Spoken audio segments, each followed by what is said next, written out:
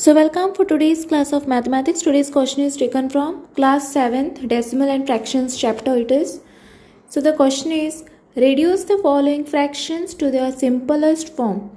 So basically we have this number 276 upon 115 right 276 upon 115. So how we are going to reduce this? We have to reduce this in a simplest form.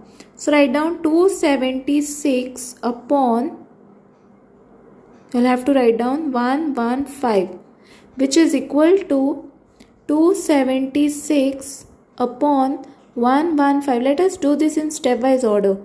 Now we have to divide both numerator and denominator in such a way that uh, it should get cancelled. But the same denominator and same number we have to use for both numerator and denominator. Okay we have to divide. So Let's find out the uh, HCF of both these numbers. How to do this? Then we will get a number and that number we are going to divide with this. So 276 and 115. So let me do it behind. So first comes 276 and next is 115, right? So I will check this in the table of 5 itself. So 5 twos I will get 10, carry 1 so here carry 1 is there. So 5 3s are 15 and let me use some other color only. Otherwise let me use red one. Okay?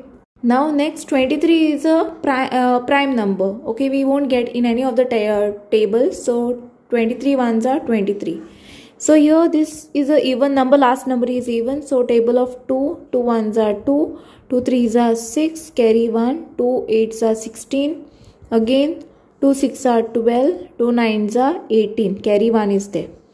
Next in the table of 3 3s are 3 2s are 6 3 3s are 9 23 1s are 23 so basically HCF is equal to what is the HCF only common in this both is 23 so what will be your HCF your HCF is nothing but highest common factor is nothing but 23 so that 23 going to divide here 23 23.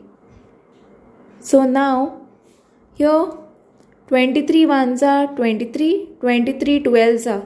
So you will get 12 upon 5 because here 23 ones are 23 23 5s are 115 you all are going to get okay so i hope you have understood how to uh, reduce the following fraction to their simplest form. So this is the way.